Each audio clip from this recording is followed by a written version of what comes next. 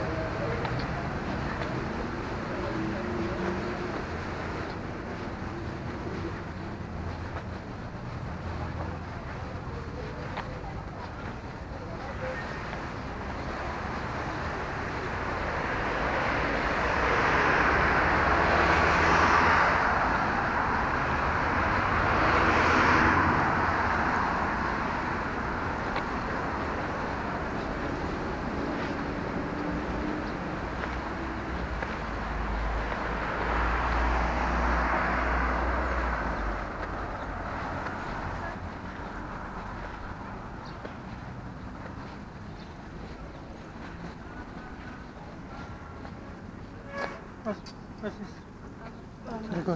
Gracias. Gracias.